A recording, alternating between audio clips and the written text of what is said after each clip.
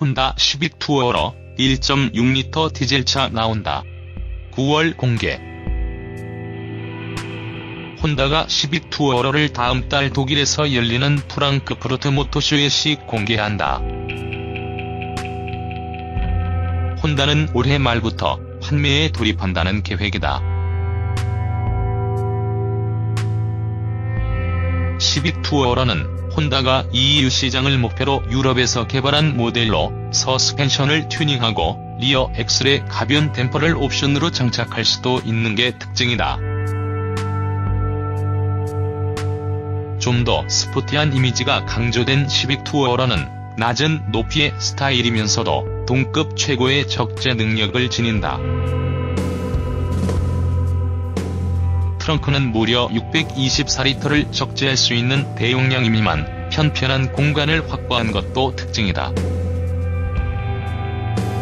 이것은 12개 front seat 아래에 연료 탱크가 있는 독특한 floor pan 디자인 때문이라는 게 회사 측의 설명이다.